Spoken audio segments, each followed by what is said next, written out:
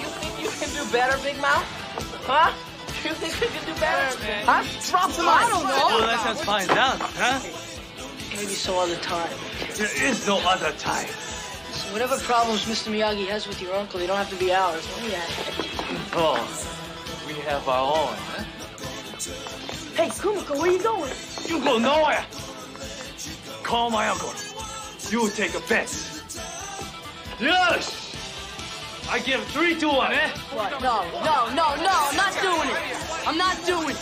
You have a choice. Broken ice or broken neck. Hey, you've got to break all three, right? Wrong!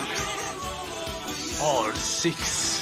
All the bets in! All the bets in! Not all bets. Not yet.